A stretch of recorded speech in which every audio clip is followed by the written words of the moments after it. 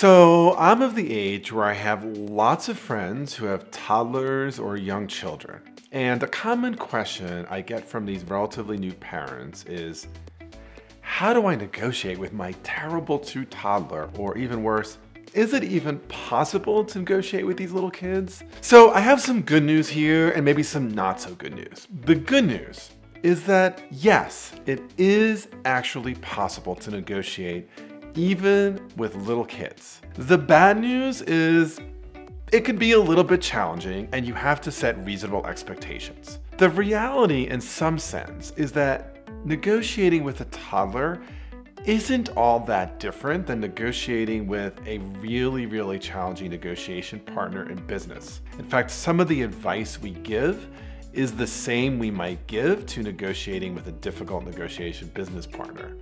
Now that's probably not super surprising because lots of times when we're in business, we're thinking like, oh my gosh, you are acting like a child here. Today, I'm gonna offer you five tips that I hope will be helpful to you if you are trying to negotiate with your little one to get them to do some pretty basic things.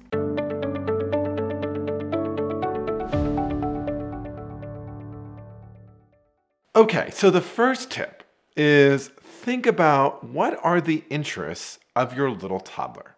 Now, your little toddler probably is not going to be able to articulate their interests in a very clear way.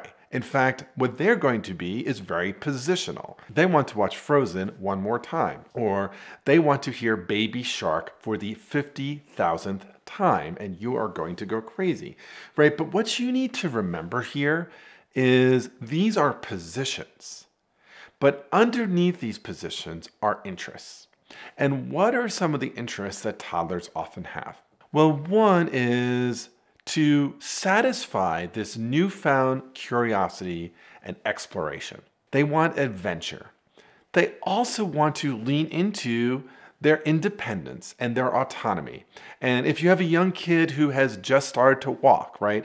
Suddenly their world has expanded, right? It's expanded beyond maybe their crib or a little playpen to your whole house. That includes putting their fingers into, let's say, the outlet. So distinguishing the position from the interest is really important here. They want to have fun, they want to explore.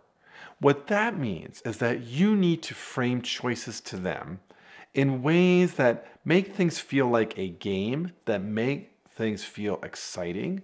You need to meet that interest and autonomy by giving them some sets of choices right? So instead of simply saying, today we're putting on the pink shorts, say, today we're going to have an adventure. And here are three exciting things that you might want to wear. Which one will give you the best adventure? So, framing things in ways that feel like games and feel like they're getting some choice can be highly successful here. The second one is to acknowledge feelings. So, one of the challenges that I've heard from young parents that's their, their kid can be doing fine and then suddenly goes into a tantrum or suddenly becomes demanding or, or super persistent.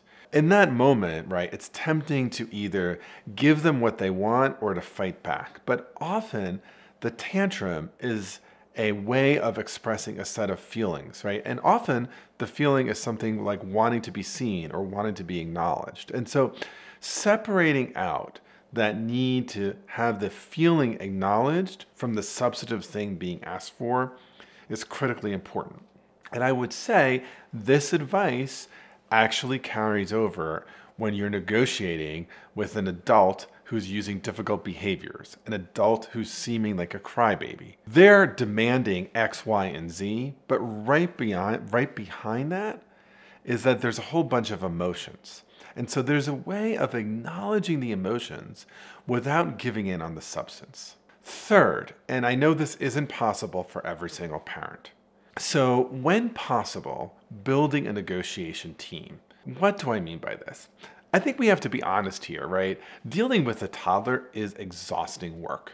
And even if you have a partner, it's tiring. And for those of you who are single parents, it's even more tiring. But whether you are partnered or not, most people who have a toddler have at least other adults who are playing roles in that young person's life. Maybe they are a sitter or daycare or a friend or your spouse. Each of these people are probably using different strategies to negotiate with your toddler, and that can be challenging. So, when I say building a team, I mean reaching out to the other people who have interactions with your kids, whether it's grandparents, daycare, your spouse, friends, neighbors, and together using a common strategy, working off a common playbook for dealing with your toddler. I think consistency is really important and, and using some of these skills across caretakers can make a really big difference. Fourth,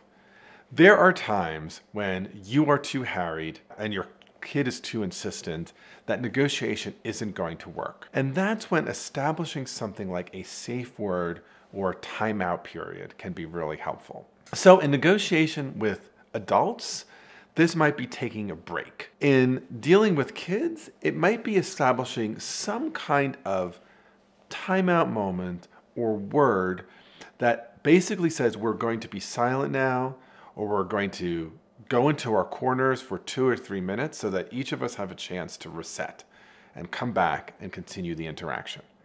Because the thing you want to try avoiding when either your kid is screaming or being insistent and you're at your wit's end is escalation or caving in.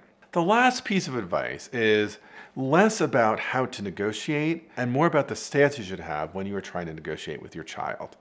And that is go easy on yourself. Negotiation with a toddler is not an all or nothing event. So, one of the ways that I might invite you to think about this is to think about, let's say, playing baseball. For those of you who know something about baseball, you know that the very best players are often batting at, let's say, 300 or 350. So, for those of you who don't know what that means, that means that about 30 or 35% of the time, the batter is getting up and getting a hit. And these are the best baseball players. So, you know what that means? That means 65 to 70% of the time, they are not doing that. And these are the very, very best baseball players. I think when you're dealing with toddlers, if you're batting 300 or 350, that's amazing. So, going easy on yourself means continuing to follow these first four steps as much as you can, but also sometimes letting yourself off the hook. Sometimes you really do need to use screen time or a reward to get some compliance. A few weeks ago, I was uh, at my church and there was a family that had four little kids. And as soon as they came in, I thought like, oh my gosh, this is going to be a circus. But the parents came in and honestly, it felt like they set up a pop-up amusement park on the pew in the church. They had toys and little screens and snacks. And on the one hand, I thought like, oh my gosh, this is like, they can do better than this. And then as I sat there, those kids quietly played their little games, ate their little snacks, watched their little screens, and there was no tantrum, no crying, no drama. And I thought, these people know how to pick their battles. And so my advice here, right, is that sometimes you need to just say, I'm not going to negotiate. Maybe it's I haven't seen my best friend in two years. Or maybe it's I've been fighting all week and I just want some peace at church. Whatever it is, give yourself that space and try to follow the other four rules the rest of the time. So, to recap, negotiating with a toddler isn't so different than negotiating with any difficult negotiation partner in your workplace or your business or your family. Five steps that can help. First, consider your child's interests, which are likely to include exploration, adventure, and some independence and fun. Second, when they are acting out, acknowledge their feelings. Third, if it's possible, build a coordinated negotiation team. That is, make sure your partner, other caretakers, and others who work with your kids are all using the same negotiation strategy. Fourth, when things get out of control, establish a protocol of safe words or timeouts. And fifth, importantly, go easy on yourself. This is hard, and sometimes negotiation just isn't an option. Speaking of when negotiation isn't an option, keep on watching this next video, which is when should you not negotiate at all? Also, if you are new to this channel, I'd be super grateful if you would subscribe. And of course, please hit the like button and the notifications bell so that when I drop new videos, you won't miss any of them. Finally, if you have some advice that you think would be useful to parents, please drop it into the comments. Okay, keep on watching. You want to know when not to negotiate.